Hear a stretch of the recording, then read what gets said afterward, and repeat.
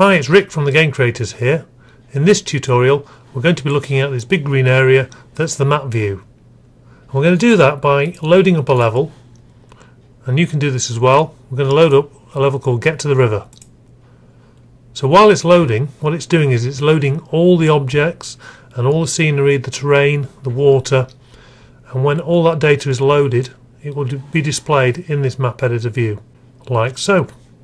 Now, you can move around this map using the arrow keys on the keyboard, or WASD as well.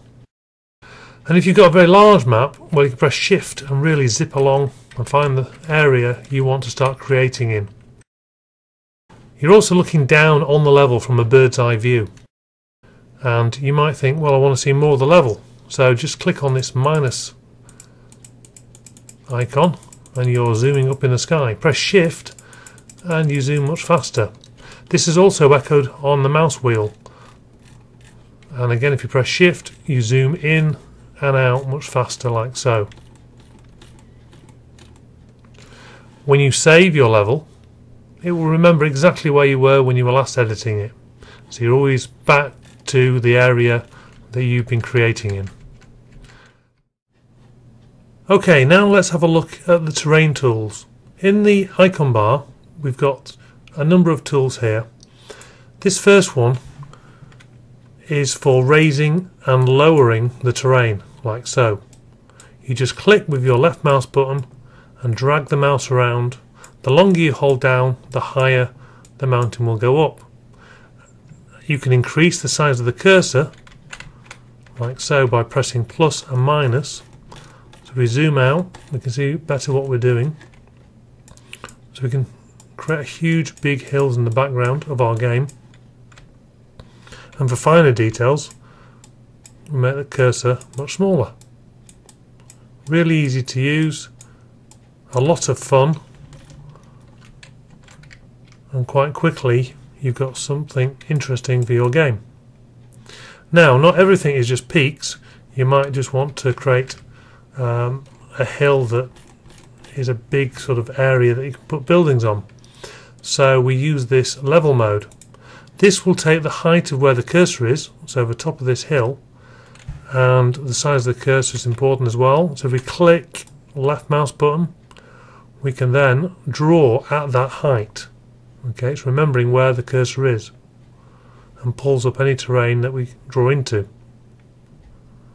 Make the cursor bigger. There we are. So if I went down here and clicked, I cut into what I've already created. If I click there, I draw at that height. Now, you might want to draw this height over here. So you would use this icon, stored level mode, this is the last level you used click and there we are we're drawing at that height again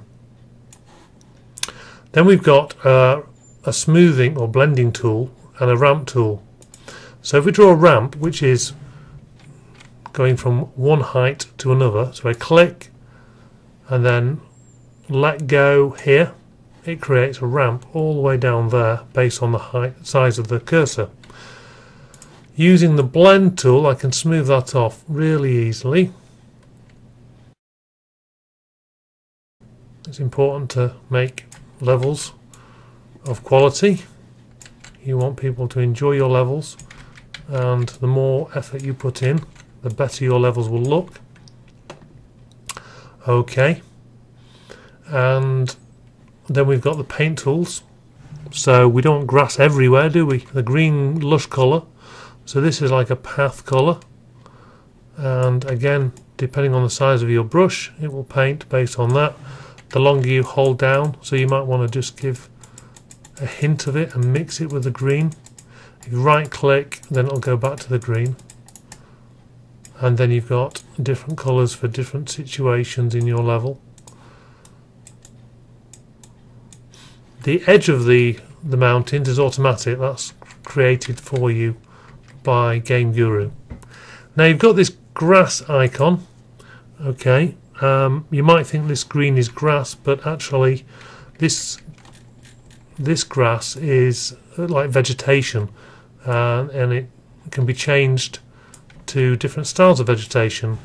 uh, weeds or grasses of different styles and you'll see that later in other tutorials on how to do that.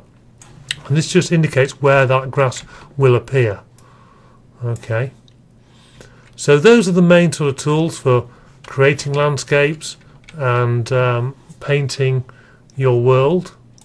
Uh, again just to reiterate about the water if you right click you cut into the terrain and that allows you to do pools and interesting uh, water features around your level. Again, the smaller you make things, the more interesting and detailed you can make your level. And it's important that you you make levels look interesting.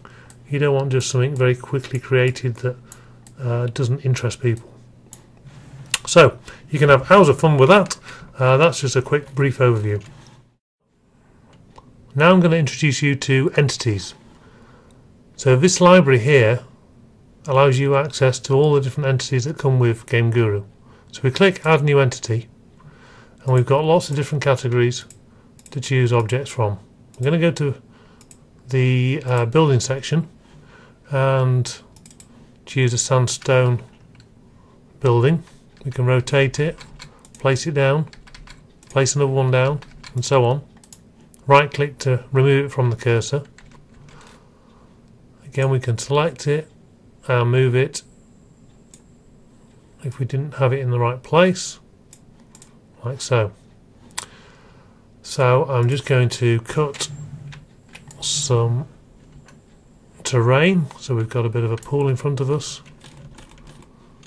I'm going to place a bit of a hill around the edge. This is just quickly to show you how quickly you can create something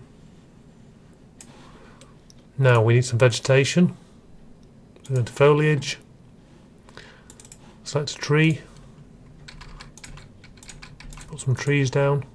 If we press I, we can spray the trees, like so.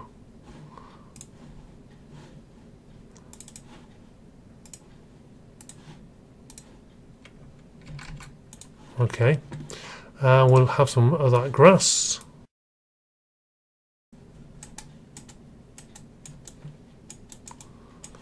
and we're going to put a marker down. And this is the start marker. This is where you start in the game. So it's the location and the direction you're facing. Okay and then all we do is we press test level. And Game Guru will take all that information and build it into the finished game now you've got all that information on the screen shows you how to play the game uh, for now we'll just walk around what we've created. Look, we've got our buildings. Walk inside and outside. We've got a lovely reflective pool. We've got trees everywhere. Really nice. Very simple. If we press tab, we've got lots of settings we can mess around with. We can have shadows, real-time shadows or baked shadows. We can even change the sky in an instant the sky type, let's make it into a golden colour and the whole scene gets transformed based on the sky. So that's adding entities. Press escape, come back to the editor and continue to create your game.